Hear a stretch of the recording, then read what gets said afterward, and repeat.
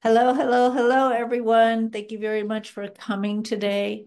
We have a really special speaker.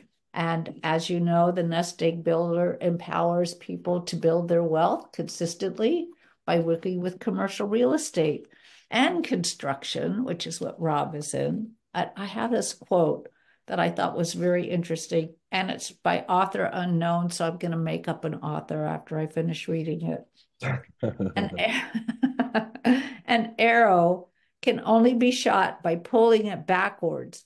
When when life is dragging you back with difficulties, it means it's going to launch you into something great.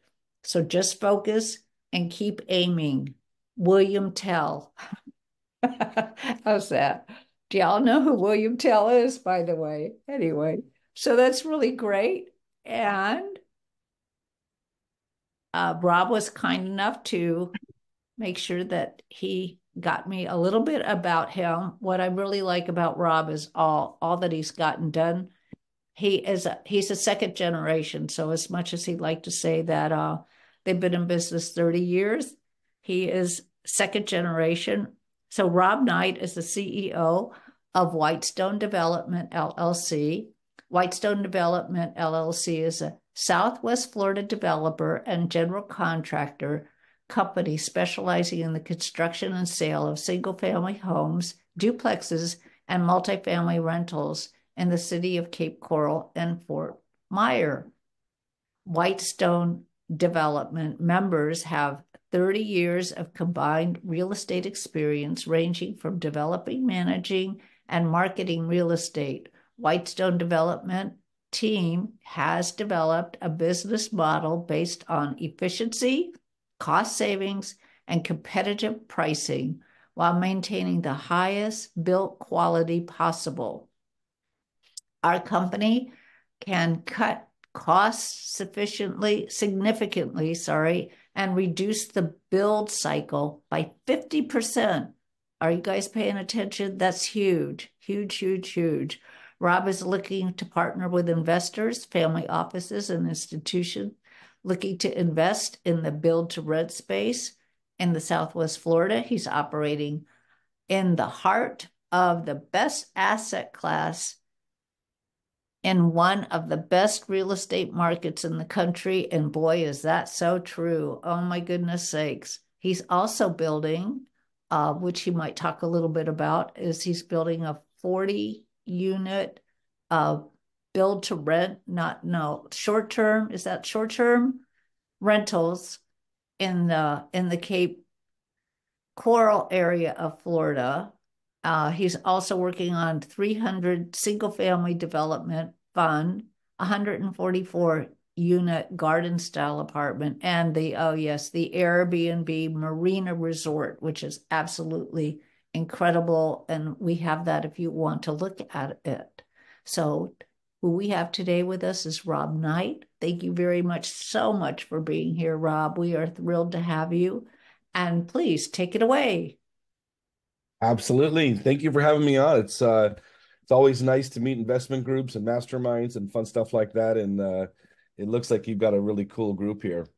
Um I I think it's 20 minutes we have, right? To uh Yep, then we go to Q&A.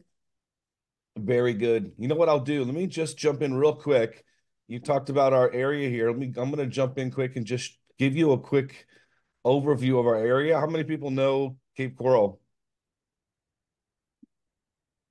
All righty. Well, let me um, let me give you a quick intro just so you can see. The um, title of what we're going to be talking about today is how to transition from house flipping to multifamily development and that's kind of um, in a nutshell my my story and what I started off doing. But let me just give you guys a quick view of Cape Coral. We've got 400 miles of canals and waterways, so we've got more waterways in our city than any city in the world, Venice, Italy included. So it's just this amazing labyrinth as you look through the the city. Um, we've got white sand beaches that surround our city that look a whole lot like the Caribbean. We've got four marinas in town, five golf courses in town. We even catch fish like this in our backyard. Uh, amazing. I've literally I've literally seen dolphins in my backyard, but we hook into some of the most amazing fish. And these are um, two of my boys that uh, that just have a lot of fun fishing out in the backyard here. Um, this is what our city looked like in 1959, and this is what it's been transformed into today. So 1959, uh, 1957, the Rosen brothers purchased the whole 125 square miles of Cape Coral um, for $678,000. Um, you can't get a nice house on the water for, for that anymore, but um, but they bought the whole 125 square miles and just did an amazing job transforming it into what we have today with Cape Coral. And actually, 50% of the city is still unbuilt. So if you're into building and development like myself, this is a paradise. It's um if you can't, I always tell people if you can't make it here as an entrepreneur, you better go become an, an accountant or or something else because this is an entrepreneurial playground.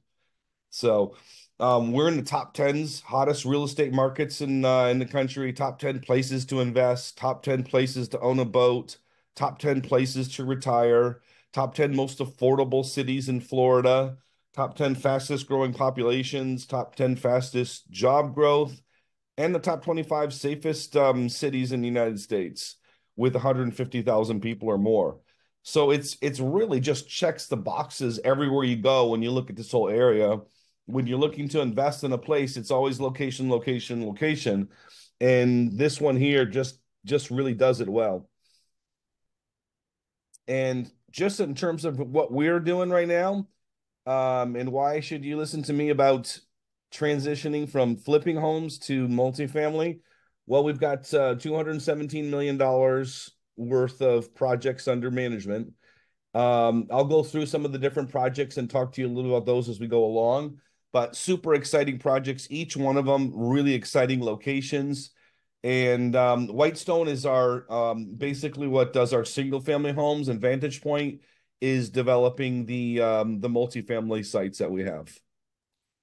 Um, we are building the single family homes ourselves as a general contractor. And with the multifamily um, uh, sites, we're actually outsourcing that to one of the largest um, uh, multifamily general contractors in the area. Mm-hmm. So I started off, you know, in, two, in 2015, we moved uh, to Cape Coral. I had been 20 years overseas, and my family and I decided to come back. I was sitting um, sitting in southern Spain, and uh, we were watching TV. My eight year old at the time said to me, um, "Dad, what's uh, the Fourth of July?" Something on TV had come up with the Fourth of July, and I'd realized after being 20 years overseas that um, it was time to come back and teach my kids a little bit about uh, America as well. So. So we moved back, and I wanted to come back. I'd, I'd been doing some real estate over there, and I've been doing some real estate even during the whole 2008 crash, and purchased you know a bunch of homes in Miami. Um, so when I came back after being out of the country so long, I just felt like I needed somebody to kind of orient me towards uh, all the things here in America. So I bought a home home HomeVestors franchise. We uh, we flipped uh, 18 houses our first year, um, and just got kind of got our feet wet in the whole thing. And but the thing I found out with house flipping was just tons of competition. Um, margins were shrinking back then, and that was in 2015 um, investors were all overpaying for their deals and um, and it was just hard to find inventory and here i am looking around this this city and i'm i'm just seeing uh, just a myriad of thousands of lots that are available. I knew how to take a house from studs all the way through to completion. Let me go through and let's see about building these ground up. So the first year we built two houses. Second year we built eight. And we're up we're up to uh, to as much as 150 at a time. Um, and so we we grew that way, just you know, building the single family houses. It was a really great way to find the ability in real estate investment to scale your investment and also to move away from all the competition because everybody's perception was don't get into new con- new construction. It's it's super complicated. And I won't we won't jump into this right now. We could do a whole nother um, session on uh, transitioning from house flipping to new new new ground up new uh, new home single family home construction because that's a fantastic transition as well for investors to to consider. But um, as I look at it, these single family homes are fantastic. But if you want to even scale your business more, to me, jumping into the multifamily um, circle is is the fastest way that I can see to really scale your real estate investment business. And I'm just gonna I'll get I'll talk a little bit about some of my experiences, what we did, and we'll go through some of these together. But first, let me just show you the first one of the first houses we built. There were my contractors had gunshots going on back and forth. I bought this house for thirty thousand dollars. Um, I just looked at it this morning and it's selling for two hundred sixty-five thousand dollars right now. Um, kind of crazy to see what uh, what the, you know when you look back at all the houses you flipped and sold. Your biggest regret is that you sold any of them. You should have held on to every single house that you ever bought. Um, and so we're doing a whole bunch of these are our, some of the models that we're building right now for single family home construction. We we got four models that we're basically building. We have 13 models, including uh, a duplex model as well. We don't build all 13 very often. We, these four here are the core ones that we're normally doing. And those are going to be um, comprised of the four bedroom and three bedroom uh, houses that are most in demand. and so it's pretty cool. You can make six figures building a single family home. But the cool thing is if you do one of these um, these syndications for multifamily, you can get financial freedom in one deal. And I think that's the powerful difference. You know, when I was flipping houses, we would make thirty thousand dollars on a house. I know in California you guys make a whole lot more. I want at least when I'm watching the flipping shows.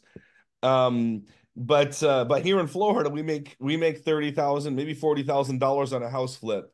When we do a single family home, we can make six figures on one of those. But when you're doing a, uh, a multifamily development and syndicating it, you can um, you can find financial freedom and make millions of dollars. So it's it's the ability to scale and do volume and the amount of time it takes to get one of those deals.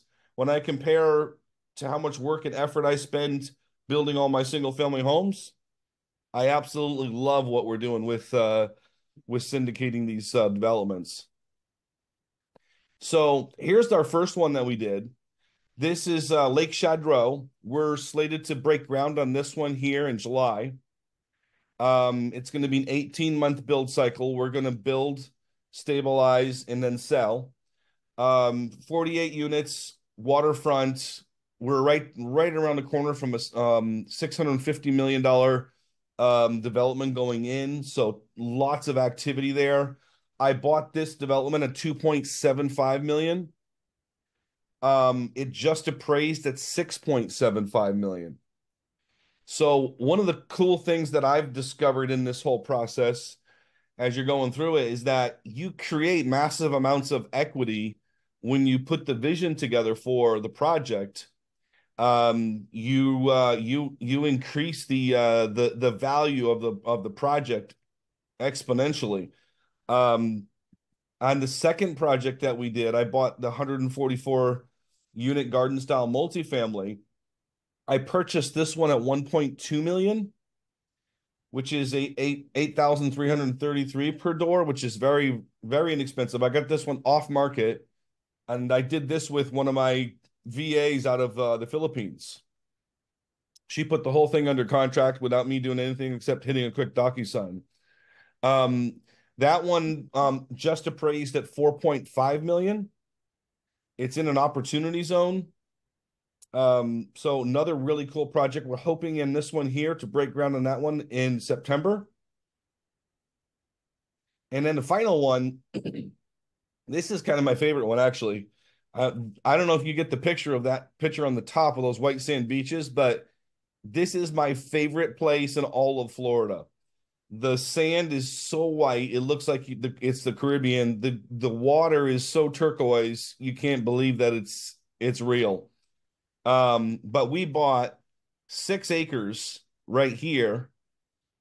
And the fun thing on this one right here was is that the developers that had it couldn't think their way through this situation. There was a um, there was an eagle's nest right here. There's all there was also wetlands down here, and there's two zoning codes here. It took me six months to break the code on this one. Um, but what I did was I built a small in a small area. I did my blocks right there and I went up high, which to me was even better. I got better views out over the over this beautiful water, looking out over those nice white sand beaches. Um, and they just wanted to build villas all the way through. So I bought this one here. It was it was sold previously at 6.5 million. I bought it at 2.9 million. Um and uh and this one right here, we had a we did this really interesting too because we went in on it. I I negotiated seller financing as well on it. Did some really cool deals and this one here was just appraised at 6.8 million um so every time we're walking in, we're purchasing and we're we're adding millions to the bottom line by purchasing really well in the beginning. Um, this one's also in an opportunity zone as well. So if you wanted to get into into into this deal to create some of these kind of developments, what do you do? Well, what my recommendation to you, if you wanted to get in and start your own syndication, would be get onto the MLS, just start looking for vacant land and my advice is look for vacant land that's entitled but not permitted. Because if if you go off and you're going to get something that's going to be agricultural land and you're going to have to get a committee and the local community to agree with the project and you're doing multifamily, at least in Florida, nobody likes to see multifamily coming in. They want to keep everything the same as it was. And we were just having a conversation about that, that nobody wants any new activity there. So I personally don't like to buy not entitled land. And I've bought unentitled land before um, while I was overseas and spent 10 years trying to sort problems and issues. And um, and I've decided for me anyway, my recommendation is is get it entitled so you know you can build the resort you're looking for or the condos you're looking for um, and then you're just focused on getting the permitting done. Um, your goal is to identify the zoning and then just figure out how many units can you build. I, I recommend downloading the um, the zoning map for the city that you're interested in and start looking through all the different areas there and seeing if you can find vacant land. One of the cool things about land is, you know, you, we're all struggling to find the deals out there that are already built, but there's land everywhere, all over the place. Mm-hmm. So your the competition you have to go find A class sites is not very hard. I mean, you look at me in the last couple of years, I've got three A class sites that anybody would dream to own on the water, white sand beaches. I got a mini marina component on both of them. Um, so I can rent out my 12 marina slips on each site uh at al- almost a thousand dollars per month. And those were just surprise upsides that I got in the middle of it. You know, just really nice sites that you don't have to sit there and in because I know the same thing's going on in the multifamily. Everyone's overpaying, right? For for the sites. When you go in and you're buying buying vacant land, you can really people people are sitting on vacant land for a while. You can negotiate them down because everybody's afraid to jump into construction again. So use that to your advantage. And even more so right now, while there's a lot of uncertainty, I'm negotiating better deals than I ever have because there's so much uncertainty and fear out there. So I love it. It's um I'm enjoying this whole season here. I want to keep continuing over the next six months to uh to uh, I've got a uh, several other sites I'm trying to acquire as well, and it's it's a lot of fun. So what would I say doing this? I would download. You can go in and download every piece of vacant land in the city you're looking for there's a number of um, of different um, websites and and services that you can use. Then you skip trace them all. And what I did was I skip traced and got everybody's phone numbers, everybody's addresses, everybody's email addresses, and everything.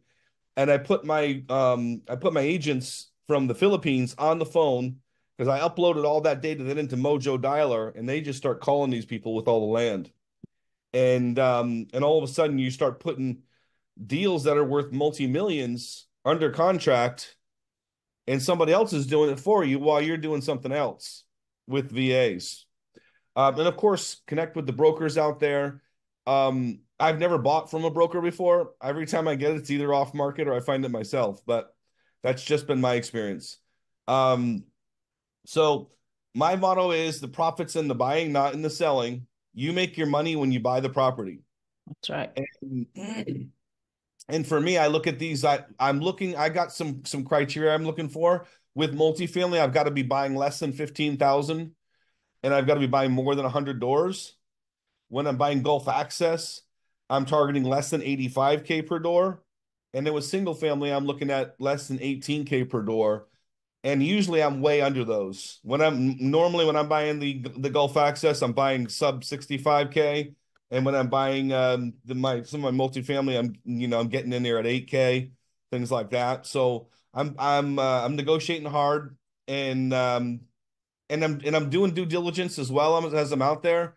So I I focus first on your prospecting, just finding the land deals. And by the way, just putting some of these under contract, these land deals you um you can get these things under contract and, and wholesale these things just like you can wholesale a house and make a whole lot more money on some of these uh these kind of wholesale deals. So i'm doing my due diligence. I'm looking at setbacks. I'm looking at the zoning and, and land use. I have a, an environmental guy who works with me on all my um, single family stuff as well he's on my speed dial because when you're looking at something okay um I even before I even put a contract out, I have him do a cursory look at it. And so I would say if you do want to get into land development, get an environmental consultant, find out who's the best.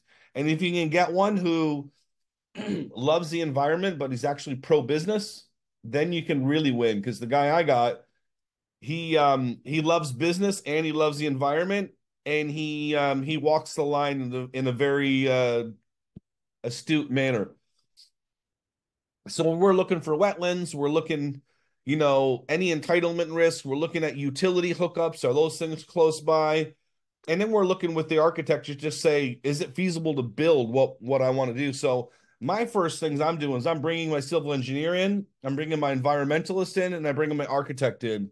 And typically, I'll just do a Zoom meeting. I'll grab all the data on a, on a site that I'm interested in. I'll set up a Zoom with all three of these guys and just let them talk because half the time these guys already know the sites and you can you can gain a ton of experience you may be nervous jumping into the into these larger deals like this but you're going to negotiate a really strong due diligence period and you're going to bring in experts from everywhere to help you learn everything you need to learn and make sure that you're you're covering your back and the key on it all is is that you just got to get in control of the land he who controls the land controls the deal. If you want to control deals and you want to control big deals, it's all about getting land under contract that you know is going to be turning into into gold. Um, you don't need to put large deposits down. Everybody thinks you have to put down big money to get these deals done. Do you know how much I put down on each one of my deals that are that are here? Ten thousand dollars on each of my deals that I that I've got. They're all all, all of them are going to put multi-million dollars in my pocket and each one of them i got $10000 down um if you if somebody's asking you for proof of funds find the find some of these lenders out here who will give you uh, a line of credit letter i mean i've got a line of credit letter that says that um, the lenders are willing to give me um, 20 million dollars for the uh, the acquisition of land and you throw that right at them, and that gives you the uh, the leverage to be able to get these uh, these things tied up. But um, so t- don't worry about big money. The second thing is, is you want to negotiate seller financing if you can, because a lot of these guys have been sitting on this land for a while. Land is one of the least liquid things that you can get a hold of until you begin to develop it and bring vision to it. So what I always do is is I walk in and I always ask for um, seller financing. And on two of my deals, I got seller financing. One of them I couldn't get seller financing, but I got a lender to come in. And you can even you can either even take the land down without a loan because of the seller financing. So what um what I did on that one that's got the beautiful white sand beaches I went down with $10,000 down on it. After 90 days, which I extended twice because of all the um, the uh, the complications, um, I had to put two hundred thousand dollars down, and then another seven hundred thousand dollars 60 days after that, and the rest when the permit got finished. So if you can if you can do that, what happens is is you get your ten thousand dollars down, and then you go off and you start you're you start doing your capital raising, guys. You all know what that is. I mean, uh, you've had how many capital raisers on your show here? So put your 10k down, start capital raising, and then start creating the vision for it. On that one with the beautiful white sand beaches, we actually went out and got um, we did some promissory notes with my partner. Um, and um, on that one right there, my partner actually we we came in, he put in a million dollars, but because we started working on the permitting and the vision of it all right away, it ended up getting appraised at 6.8 million. So we didn't even need to finish paying the money in the end because we got a lender six months later to come in and help us refinance out. And so the um, the final payments for the land were covered by the uh, the bridge loan that I got because we'd created so much value in the land. So you create equity and leverage in your deal, you refinance out, and you don't even have to pay the final seller financing payments that you've agreed to with your developer. So it's about getting started as fast as you can to start creating equity and then leveraging what the banks will give you to um, to get through it without putting too much money to, into into the deal. Um, you can typically get a 65 up to 80% um, loan on land if you want to go in and acquire it. So maybe you didn't do the, the seller financing, but you just want to go right in. You're you can get anywhere between 65 and 80% acquisition on the lands And then you're what you're going to do is you're going to need to get enough money, three, four hundred thousand dollars in addition to get through permitting because all your engineers and everybody else to get your your project all the way through permitting, you're you're going to need that as well. Um, but before you even finish, most of them the um, the fees you're going to pay for the permitting as well are they're more back ended. So you it's probable you're going to be able to refinance out before that. Um, what I would say is make sure when you're when you're in it, if you don't have a ton of money or capital yourself, bring in some co-GPs who have deep pockets. And um, and just don't be afraid to give away um, don't be afraid to give away some equity because you can walk in and do some amazing deals that you would never do, but you're going to have to give away some equity in the process. So here's some of the lenders you're going to need, the types of lenders. You're going to need your senior debt lenders for doing the construction. You're going to need your land land acquisition entitlement lenders. You're going to need that bridge um, financing lender. And we've also used promissory notes. And we've used promissory notes in, in first um, position and second position as well. And um, so that's it. Maybe you get with you get part of the way there with the um, with your land and acquisitions lender, but you need a little bit more. The promissory note with a higher percentage of interest is a nice feature that you can add to what you're doing to get the the rest of the money you need to get your deal done. And this one right here is kind of my model for everything that we we need to uh what, how do you build a team that's going to get this big project done?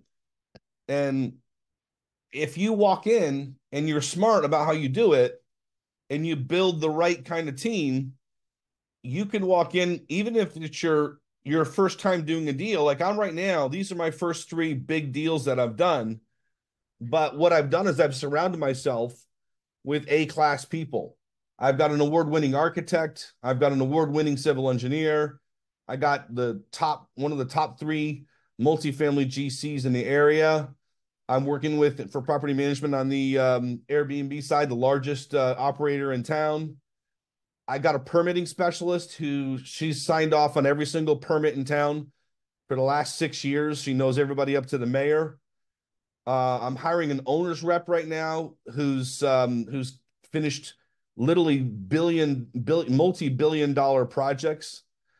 Um, who's going to be managing managing my projects for me? We've got a really good asset manager in place. I've got a great syndication lawyer. Um, I told you about my environmental consultant. Oops. Did we go over in 20 minutes or did I just hit something by mistake there? Anyway, um, so so yeah, so in in that as well, you need you're going to need at least one guy who's got deep pockets, somebody who's got 10% um liquid of the of whatever the project cost is going to be and their net worth is need is going to need to be equal to the amount of the project. So I I suggest finding some of those deep pocket guys to bring into your um sometimes I give these guys um sometimes they invest money themselves sometimes I just give them a slice for uh for being the deep pocket guys in there. And I and I also bring people in for experience and I bring in the guys who have the capital. I hire a VA to just track track the progress of all of these projects moving through permitting. I put things into Syndication Pro so that we can track the investment capital coming into the deals. Um, we've got a bookkeeper and a and a, a construction contract lawyer. So that's kind of my team that that I've put together. And by the time I get done, when I've I've had some um, some lenders say to me, "Okay, how many of these have you actually finished?" And I tell them, "Look, I've built hundreds of single family homes." And um, I said, "But let me just tell you about my team." And by the time I get done telling them by the the telling them about the team I put together, they all say, "Wow, that's great," and I've not had any kind of um, objections on that. So I I just say that to say that some people will say, "Well, how do I ever get into this? I'm not I'm not a builder. I'm not this. I'm not that." It's about knowing who to put around you in the team and then being willing to give away some uh, some additional equity so that you've got an A team that surrounded you. So while you're on this page, I have a question. It's a money question. So you yep. have hired all these people. How many of them are hired and how or which ones are hired and which ones get equity? Okay. Um architects you know, obviously it's consulting basis engineer it's it's all you get you're gonna when you're raising your capital you're gonna pull aside the money you need to pay those guys. Um none of these guys are employed by me. No uh, do, do they get equity? If they're not employed by you do they get equity? No no. The only ones i give equity to are my gp co-gp partners. The um the deep pocket gp partner comes in with um with the substantial net worth, the one who comes in and, and puts cash down with me on the deal, mm-hmm. those guys get equity. I'll give a slice of equity to somebody who's got experience. If he's got thousands of doors of just what I'm trying to build or he's built. The other thing, let me throw this out here too, guys. Um, I've talked my general contractor, my multifamily general contractor, into being a, being on the GP side um, and investing with us as well on my projects. And it's pretty cool because now at that point, if they say who who in your in your project um, has experience building, if you if you chose the right general contractor doing multifamily, they've got more experience than um, than anybody out there. So not only do you got award winning architect, and there's a cool thing for these guys when they do it. You know why it's so attractive to them? They they're able to take the money you were going to give them in fees and what they'll do is they'll lower the price of the cost of the build, and then they'll take equity instead. And then on top of that, they get to get cost segregation, which in our situation is about 100% on each of these projects. So they get big tax write offs, they get to hold equity and build without having to pay any taxes at all.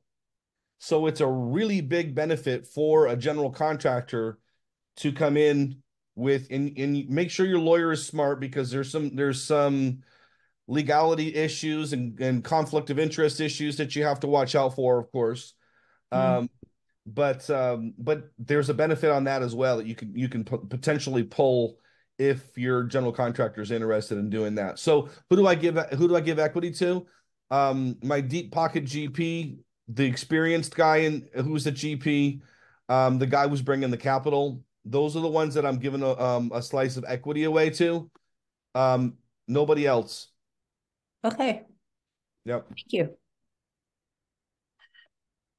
Think, then, go ahead. Anyone, anyone else have any questions? well, I have a lot of questions, but I'm waiting for you to finish your I presentation. think that's it right there. I'll leave this up in case there's more questions from this as well. Yeah, does anybody have any questions from this page? Yeah, I do. Okay, ask. So how do you find these people? Good question. Good question. Um, the first thing you want to start off with is your architect. Why? You always want to say to yourself, what's the motivation um for an architect? He wants to keep doing new deals. So he's incentivized to connect you with everybody else. So I would spend my first time, and then I did this as well when I did single family construction. I got my architect slash draftsman in place first, and he knows everybody. He can refer you to the general contractor, to the civil engineer, to the environmentalist, to everybody. So you're going to get a big chunk of your team right from there. Um, I personally, from my masterminds, I um I, I go out to the different people I know. Um, my syndication lawyer came from Eddie Wilson's whole sphere of uh, of people that um that's out there. Um, same thing with my asset manager came from uh, some of Eddie Wilson's mastermind groups. My um my VA, you know the the VAs, I I don't know what you guys think about the Philippines, but I think the Philippines is freaking amazing, really amazing. Um, we've got six people right now that we employ from the Philippines. Um, and I use I use E. Let me see if I can find the thing. I can I'll send it to you guys. There's a there's a website out there that I've um I've never found anything like it that's been even close. And you hire these people for, you know, $800 a month and you got people with master's degree and it's just absolutely amazing. It's called evirtualassistance.com. So I I use that and then I use another piece of software that actually forces them to do a video interview because the problem I have is that you can go through and spend a lot of time interviewing people only to find bad English and the video the video interviewing actually filters these people out so fast for you. I use when i hire people in the states i use um Wizehire but when i'm hiring a va and Wizehire is awesome because it does personality profiles for you and everything. And, and like i've got 500 construction managers on Wizehire right now and i just opened up when i'm looking to get my owner's rep and I don't know how many I've got already, but I bet you I've got 50 to 70 already. Um, really good resource. So Wizehire is another another great one for you for that. But yep. Does that answer your question, Patricia? That question and start another one. I'm sorry, Um, could you speak up? I'll try. There you are. We could hear you now. Okay. Um, so the project that I'm currently working on is more of a distressed property. I don't think it needs an architect. What would my next step as far as finding these people be? Gotcha. Gotcha. Um, well, let's look. You don't need the architect, you don't need the civil engineer. Um, you're gonna need a general contractor. Um, do you do you already have a general contractor that you work with? I, I know this will be my first project. Um, I'm also in a rural area, so there's not a huge selection of people locally. I'm I'm glad to send you a syndication lawyer. I spent I want to say fifteen thousand to do my uh, PPM agreements and and um, operating agreements and so forth, which is I pretty pretty good. I had another one that charged me twenty five, um, but um, yeah, this guy's this guy Nick Moore. He's he's he's really good. He's out of Atlanta, and um, he comes through Eddie's group as well. So I would I would definitely highly recommend that. I would say that um, consider using Syndication Pro platform because Syndication Pro it's pretty cool in that. Um, let me just show you really fast.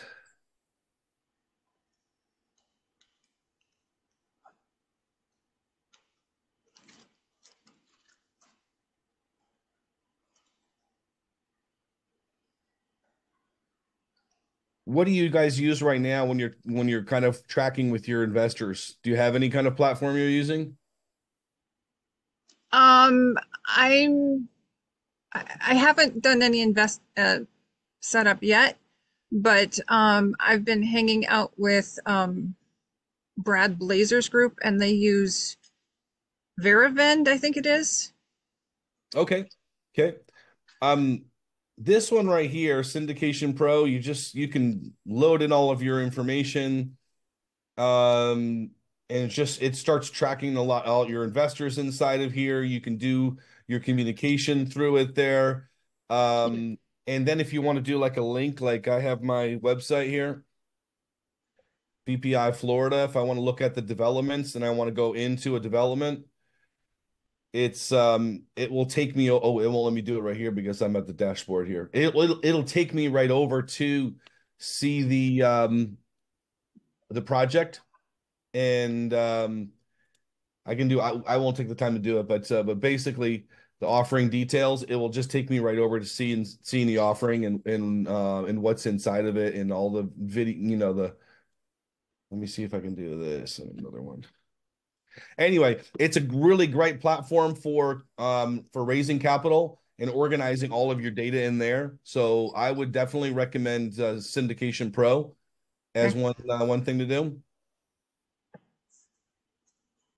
For me, the VA piece of it ha has been I can't tell you how important because uh, especially if you're doing multiple projects and you're having to track all of the different things and hold everybody accountable you'll really need somebody. Like I, the um I you know what I pay around um 1200 a month for my VA right now. And um she just tracks everything and is, is working really really hard. She makes sure everybody's on staying on track. And you can ask Peggy if uh, she keeps up with her on stuff. She just does it she does a really good a really good job. And I couldn't imagine trying to track all the details of the permitting process without that and it'll be the same for you if you're doing the construction and rehab process. Um, I don't know what you're thinking about using for. Um, you may want to consider Buildertrend for your software for doing the construction. We use Procore, um, but it's a beast. I would, uh, if you're just starting off, I would highly um, recommend um, yeah, I, I wouldn't go all the way up to Procore. Buildertrend is going to be is going to be more more uh, reasonable for you. Um,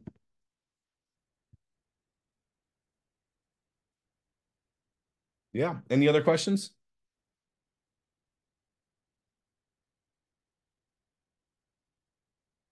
I think we're you're muted on there, Peggy. Yeah, could you stop sharing? And I have a couple of questions. I want to see if anybody else has some questions. Ready. Anybody put anything in the chat? You know, all those little things. Um, yeah, does anybody have any questions for Rob? Thank you all for being here. Chris is here. How great. I was curious about your, so you do sell a carry carryback. Do you ever ask them if they want to be a JV with you, or do you not want JVs Um, instead of a carryback? most of the ones I've talked with right now, they they have not been interested in that. They just wanted out. Um, but I would, I wouldn't have any problem with doing a JV. Um, I just think sometimes you get a better, you can get a better deal, or maybe you, maybe you could negotiate a better deal with a JV as well. I, um, it would depend on the person and how they value it. Yeah, because you that one that you had, they wanted to come in and build something, they couldn't figure it out, but you did figure it out. So why would they stay in and be a JV with you? You know, they they they were, I think they were so frustrated with that eagle on there. And um initially I was under contract at 3.75 million and I pulled them down to the 2.9 just because of the complexities as we were going through everything. I Mhm. negotiated them down in that. Um so yeah, and sometimes I think when you're negotiating people down hard, um, it's um, it's harder to say let's be partners and JVs as well. Yeah, that that would be understandable for sure. Yeah, and they might still have doubt about whether you could get the project done.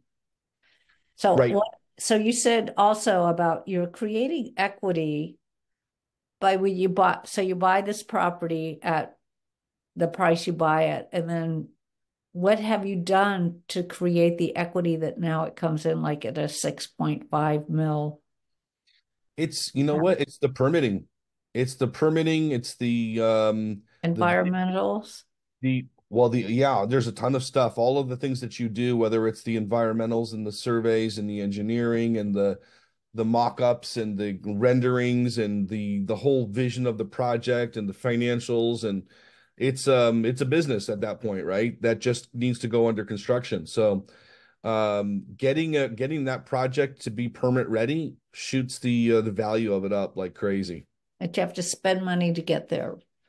You do. You're gonna have not a ton though. When you think about it, you're you're only spending three to four hundred thousand dollars, but you're making millions in equity. And the cool thing on that is, is that it means that you as GPs don't have to raise as much money in LP um, capital raising. So right. that's a cool part about it. That is a totally cool part about it. Yeah, because that first initial is can be sometimes challenging. Okay, so, today, so right? when you did that, you've got that 48 unit, uh, the SAD Sadro.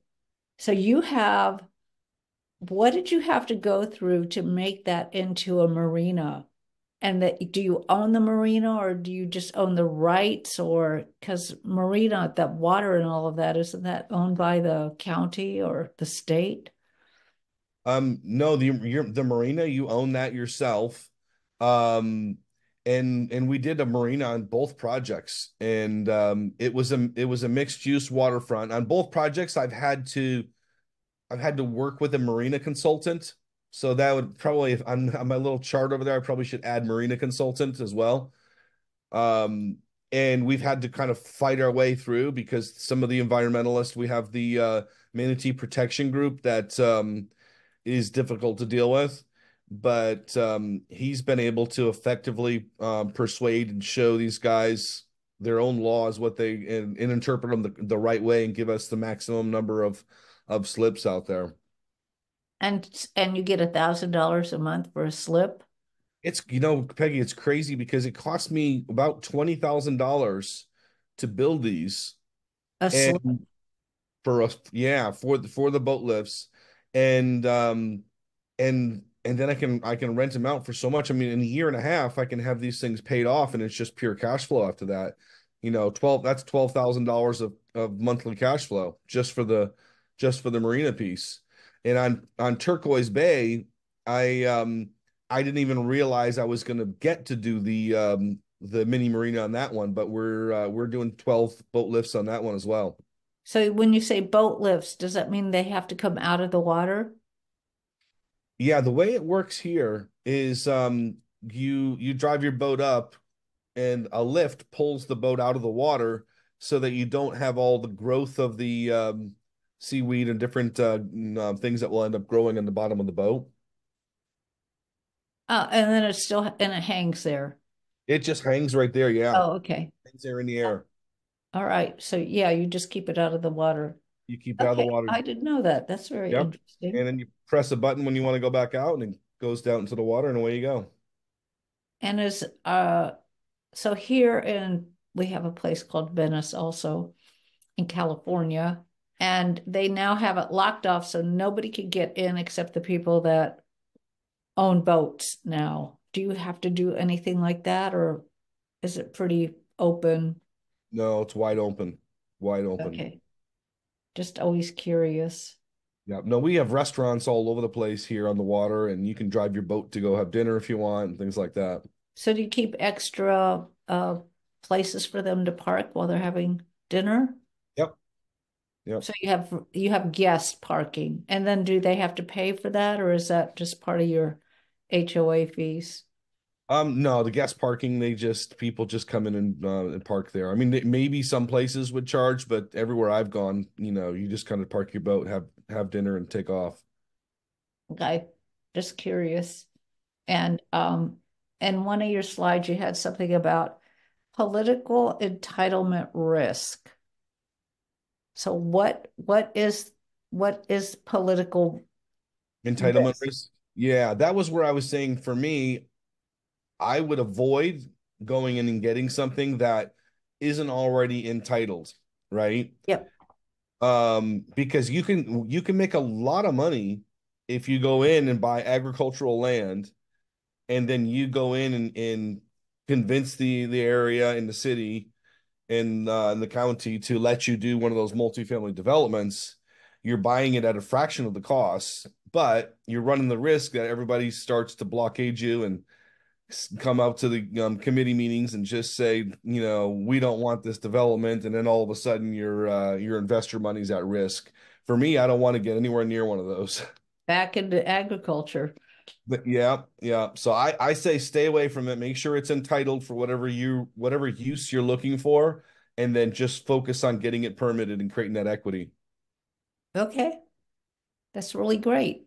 Did anybody have, did I create any curiosity to create more questions? Anyone? Well, if anybody's, oh, is that your hand going up, Ted? What's the weather risk in your geography? Good question. We do have risks here. About every 10 years, we get a real rough hurricane. Um, we had one that uh, you know, came through a few years ago, Hurricane Ian, and it was one of those one in a 500 year, you know, occurrence. Now, one of the things I've done on my um, developments, um, number one, like on we're, we're the one that has those nice beaches and everything. Our finished floor is 11 feet above sea sea level, so it's up pretty high. We're built on building on stilts, so the risk of flooding, which is the big risk here in the in the area, is very minimal. When you most times the wind damage is just going to take some shingles off and some things like that on homes, but like some some of the houses, if they were built in the 60s and 70s, they were built at a finished floor that was a lot lower. Every every time there's a hurricane, they raise the um the the height of our finished floor that we build at. So I had over 100 houses in the ground at the time when we were um we had Hurricane Ian come through. And there was a there was quite a bit of flooding in the area. Not one of my houses had any flooding, including the ones that were waterfront. Um, and the the fun thing I'm doing on my projects actually, because we build up so high, um, that essentially every everything you build is out of the flood zone now. And so I actually found a way for fourteen thousand dollars to carve my whole project out of the flood zone, and ended up being able to save at Lake Shadroe. I'm estimating about two hundred thousand dollars a year just in um, in expenses that I would have paid for flood insurance if I hadn't done that. Wow. Congratulations. Yeah, a little bit more um a little bit more money in the into our investors' pockets and not uh and not the insurance companies. Well, that'll make them all happy. David, Yeah, hey Peggy. Yeah, I do have some questions. Um, I, I'm I kind of come came into your uh, meeting a little later. Um, but what what is the mo uh, the asset class that you're finding has the most demand? And I'm just curious with with the other other properties you have with demand with the insurance in Florida and so forth. What what are the pushbacks or you know th those kind of things? There is a little bit of pushback right now in terms of insurance. The fact that I've figured out how to carve my myself out of the flood zone helps me answer that um to a good degree. Um and you know there's new new insurance companies coming in that are pulling the rates back down little by little as well. And this it's a pretty common thing that happens. In terms of which asset class I find is the most in demand, I find it's different depending on who you talk with.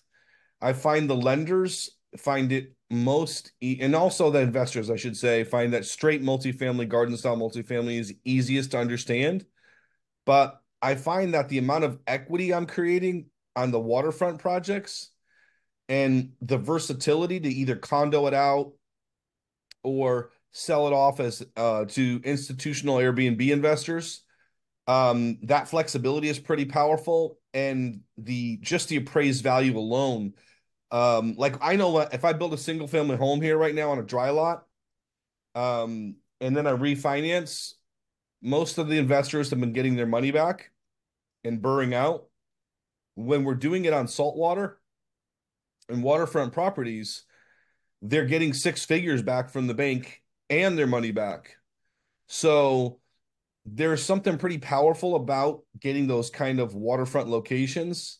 I also find right now that the Airbnb, because the um, interest rates are chewing up a lot of um, of, of our profits and cash flow on just the standard multifamily stuff, that the attractiveness of the returns that I have on my pro formas for my waterfront sites is more attractive and it looks looks a lot better. So I think the um the ability to have higher cash flow through those kind of assets, and we've purpose built these assets as an Airbnb asset. So we've put in all kinds of different um, amenities that we know are going to give us the highest occupancy rates. When you see um, Airbnb assets that have really good amenities, they um, they get much higher occupancy rates, and they're just shoot off the charts in terms of their returns. I think we're going to be able to do that as well because we have built into the project some really nice amenity mix into uh, into what we're doing. Yeah, yeah I'm sorry, you mentioned uh, the project that you're doing on the waterfront and, and uh, a no flood zone. That that's a flood zone location. So I'm yeah. curious on that. And also, are you building and finding any interest with Wall Street of, of re, uh, reselling to Wall Street? Yeah, no, the um I'm in I'm in contact with a whole bunch of um institutional investors. In fact, the I started off with these waterfront sites because I was off at some Airbnb masterminds and some of the institutional Wall Street investment groups were there saying we want to invest in Airbnb. We like the additional revenue that um, it provides at this time, but we're having a hard time aggregating enough Airbnb assets in one area to make it make sense for us. And um, so, purpose building 48 units on the water or 43 units on the water puts them there for the Wall Street investment groups that are that are looking uh, to buy these assets. I thought that was a brilliant idea. Yeah, Anything just else, listen to David? people complain. Anything else, David? No, that's it. Thank you. Okay, great. So if I just sent out to everyone a couple days ago the list and Shadroe is on that. If you have any interest in Shadroe, which is the 48 unit, please let me know. And any of the others, if you have interest in Rob's developments that he has upcoming, let me know and we will get that information to you also. Yep. So it's uh we love that we love the 48 unit. We think that's a brilliant idea to put 48 plus it's multifamily. It's not just the 48 units, it's also the multifamily, plus it's the marina. So there's just all kinds of different income coming from that. Not only that, I bet maybe if you have a different conversation with Rob, if you wanted to own one of those, maybe you could. Maybe, maybe not. Depends on whether Wall Street jumps in or not. Right. Yeah. No, the other option is if Wall Street doesn't jump in, we condo it all out and just sell each of the condos out. So you're right. Yep. Right. And then they can uh, each run them as a as a short-term rentals. So great. I, personally, I like that approach myself a little bit better. I'm gonna I'm gonna do what's highest and best for our investors, but I would rather just own these and never sell them because uh the, the, the locations are so amazing. Amazing. Plus, you have all that additional, and I presume that a restaurant will be part of the mixed use. There is. There's a nice waterfront restaurant. We've got 15,000 square foot of triple net commercial as well. Um, so we've got a, we've got a, um, a lot of commercial units to sell as well. That's great. So we are at the top of the hour. And Rob, I want to thank you very much for coming on and sharing this with everyone.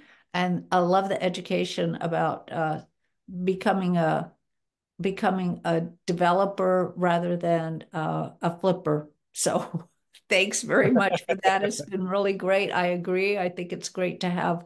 I love that you have this whole team all set up, ready to go, and you just oversee that. And you've got your and you've got a lot of automation put in place. I think that's really important, and that keeps your profitability high also. So thank you, and we hope you'll come back again. Thank you. Appreciate hanging out with you guys. Have a good day. If anyone has any questions, feel free to reach out to me.